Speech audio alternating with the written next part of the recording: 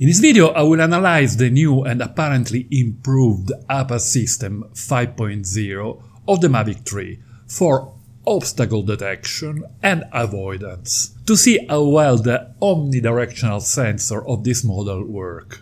I will also test this new smart return to home functionality. I will try very hard to crash this drone. Let's see if I will manage it.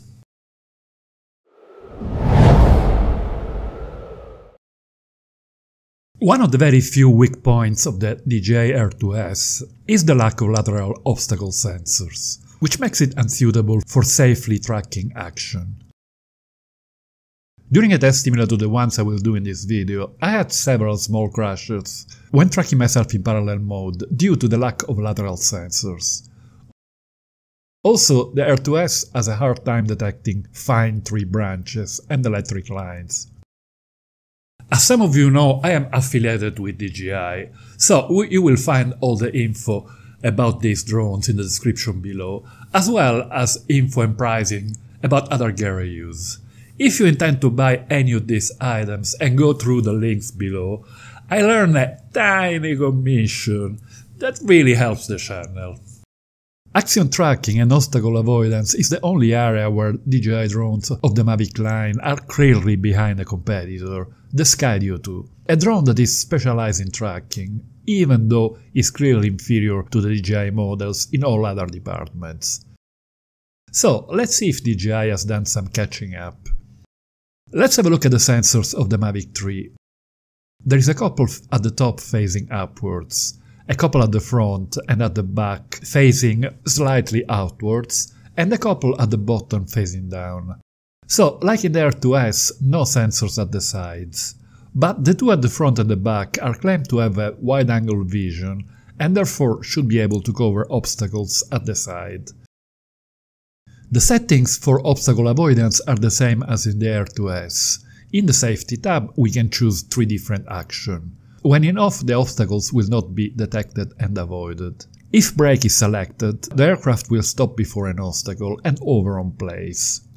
If we choose bypass, the drone will try to find the best way around the obstacle, if possible. If the option right below Display Radar Map is turned on, we will see on our mobile device a map of the obstacles around the aircraft.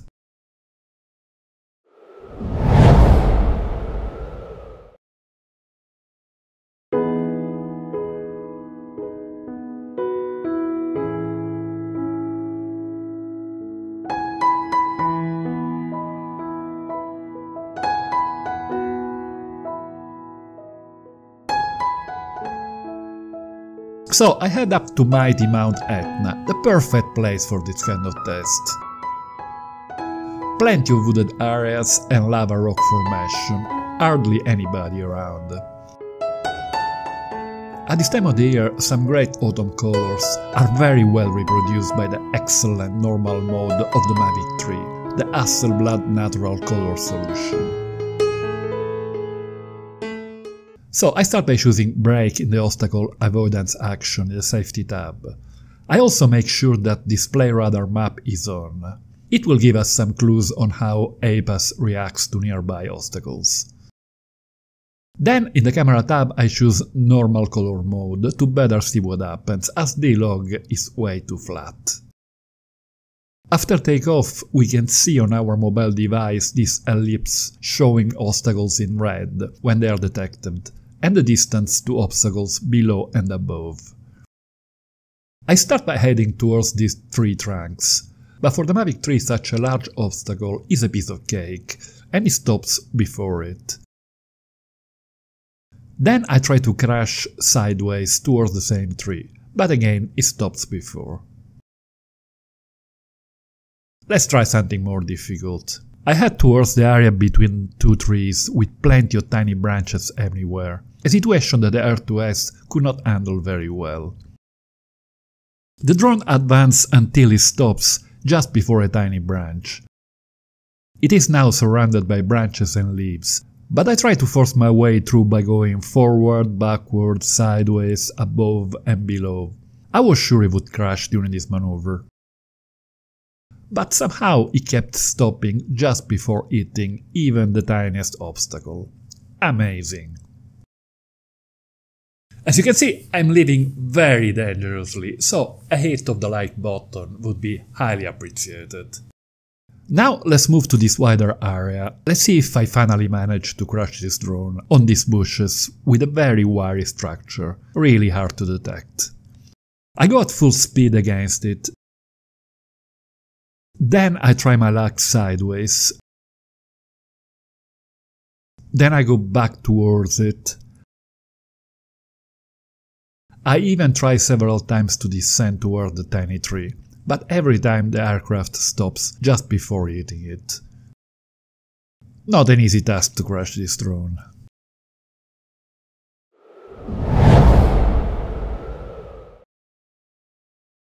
Let's see if I have more luck crashing this drone using the bypass mode.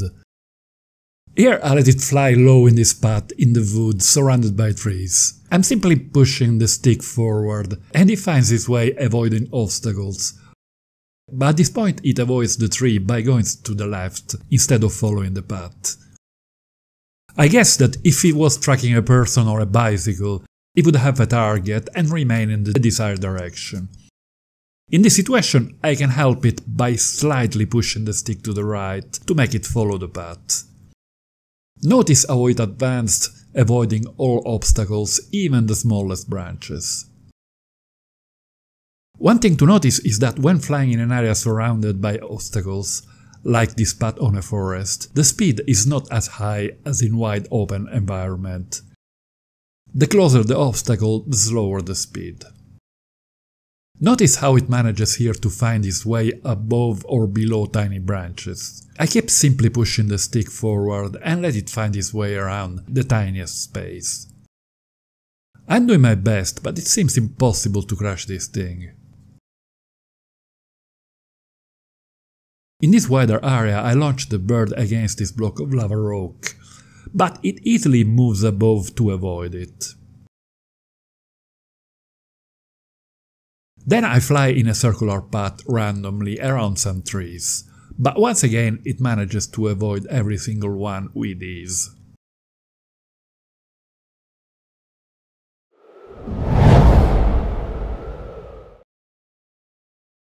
I started to lose hope of crashing this drone, but then I thought, let's see what happens in zoom mode. I had read in some forums that the APAS system does not work with zoom functions, especially when engaging the telephoto lens at the 7 times zoom factor. Let's give it a try. By clicking on the binocular icon, I engage the zoom. Then I type once on the icon below to go to the 2 times digital zoom. The ellipse for obstacle detection is still there and the drone keeps avoiding obstacles going forward, backwards, sideways. So I tap twice on the zoom level icon to get to 7 times and engage the telephoto lens. As you can see, even with a second lens, the APAS system seems to work perfectly well. And this is excellent news, as it means that once active track will be available, it should be possible to track targets very far away. Anyway, I tried my best to crash this drone, but I didn't manage even to damage a propeller. It's not fair. How about you? Have you had any crashes yet? Let us know your experience in the comments.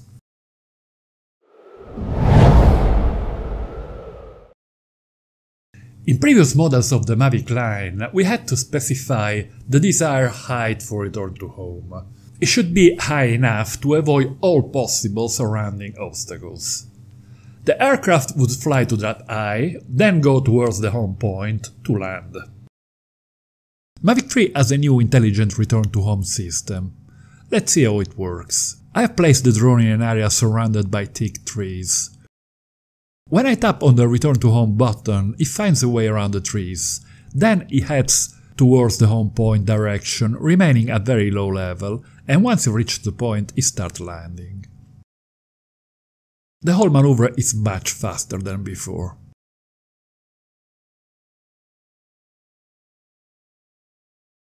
Click on this link to watch my review of the footage quality of the Mavic 3. I will also add a link to my analysis of ActiveTrack once this functionality will be available. Don't forget to hit the like button if you enjoyed this video.